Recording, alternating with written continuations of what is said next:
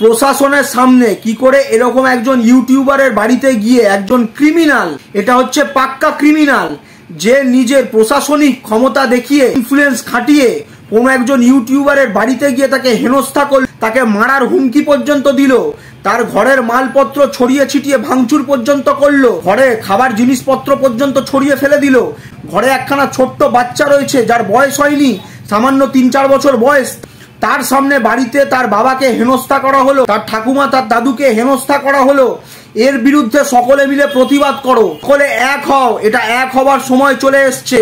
প্রত্যেকজন এক হয়ে সন্দীপের পাশে তোমরা দাঁড়াও। এটা হচ্ছে নোংরামো। এটা হচ্ছে নোংরামো, এটা হতে দেওয়া যায় না। কারোর মেয়ে বসে বসে নোংরামো করবে শ্বশুর বাড়িতে। যখন সে ধরা পড়বে, আর ধরা পড়ার পরে তার বাবা সেইটাকে সমর্থন করে, পরকিয়াকে সমর্থন করে, তার প্রশাসনিক পাওয়ার দেখিয়ে, স্বামী ইউটিউবারের বাড়িতে ঢুকে প্রশাসনিক পাওয়ার দেখিয়ে তাকে হেনস্থা করে চলে যাবে, এটা হতে দেওয়া যায় না। প্রতিটা ক্রিয়েটারের কাছে আহ্বান জানাচ্ছি, তোমরা সকলে এক হও। আর ওদের হয়ে যারা ভিডিও করবে, তাদের কমেন্ট বক্সে ভর্তি করে দাও আর রিপোর্টে ভর্তি করে দাও। কারণ এই ছোট লোকের একটা সীমা থাকা দরকার। যে বাচ্চাটাকে পর্যন্ত দেখে যায়নি, বাচ্চাটাকে ফেলে দিয়ে চলে গেছে রাস্তায় পরকিয়ার তাগিদে।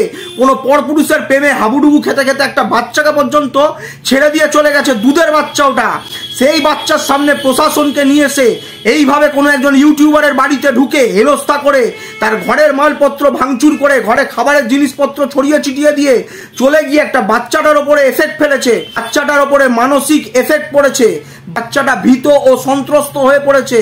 বাচ্চাটার সামনে এরকম ধরনের প্রশাসনকে নিজের হাতের পুতুল বানিয়ে এইভাবে নোংরামো করবে, কোনো ইউটিউবারের বাড়িতে ঢুকে ভাঙচুর করবে, তার বাড়িতে হেনস্থা করবে, কোনো ইউটিউবারকে মারার চক্রান্ত করবে, এইগুলো আমরা কেউ মেনে নেব না। সকলে এক হও, এর বিরুদ্ধে প্রতিবাদ করো।